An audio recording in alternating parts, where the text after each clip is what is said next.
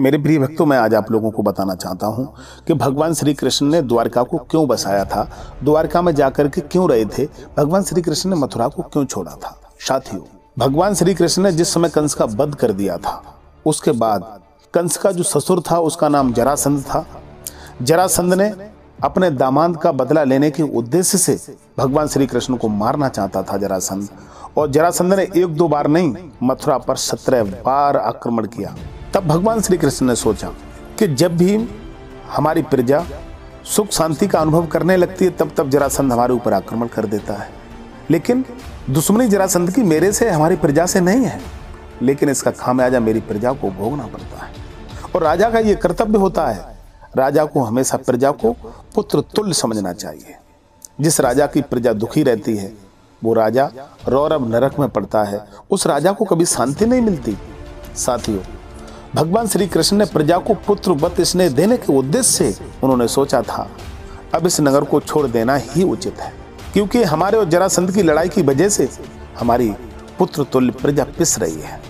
हमारी प्रजा के जीवन में हमेशा खलल आते रहते हैं, सुख का ये अनुभव कर ही नहीं पाते हैं, हमेशा युद्ध से जूझते रहते हैं। और भक्तों, ये बात सच भी है।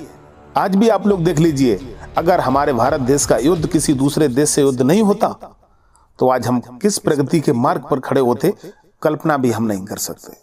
आज यूक्रेन की क्या दशा है, केवल युद्ध की वजह से आज यूक्रेन में लोगों का जीना दुश्वार हो गया है। युद्ध एक ऐसी चीज़ है कि ये शांति को भंग करता ही करता है और देश की समृद्धि को भी भंग करता है। आज हमारे देश में तमाम तरह के यंत्र हम तैयार कर रहे हैं। तमाम तरीके की मिसाइलें तैयार कर रहे हैं एक दूसरे से युद्ध में विजय करने के लिए। साथियों, जो पैसा आज हम युद्ध करने के उद्देश्य से अपने जवानों पर अस्त्र शस्त्रों पर खर्च कर रहे हैं, तमाम मिसाइलें खरीद रहे हैं, साथियों, अगर उस पैसे को हम अपने देश के गरीबों पर खर्च करें तो हमारे देश में गरीब ढूंढे नहीं मिलेगा। हमारे देश में जूतों पर पॉलिश करने वाला व्यक्ति भी चार पहिया की गाड़ी से चलेगा, मेरे भाई बहन लेकिन भगवान श्री कृष्ण ने इस पर विचार किया था, लेकिन आज के नेता विचार नहीं करते हैं। जरासंध ने हमारे मथुरा पर एक बार नहीं, सत्रह बार आक्रमण किया है। अभी अठारहवें बार की फिर तैयारी कर रहा है। हमारे मथुरा वासियों का तो जीवन युद्ध में निकल जाएगा। इन्हें तो सुख का कभी अनुभव हो ही नहीं पाएगा। इससे बढ़िया मुझे मथुरा को छोड़ देना चाहिए। साथियों, तब भगवान श्री कृष्ण ने अपनी प्रजा को सुख और समृद्धि देने के लिए द्वारिका को बसाया था और सबको लेकर के द्वारिका में चले गए थे।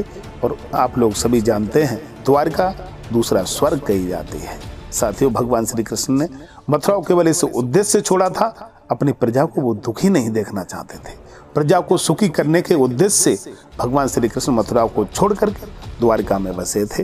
हर हर महादेव, ओम नमो भगवते वासुदेवाय।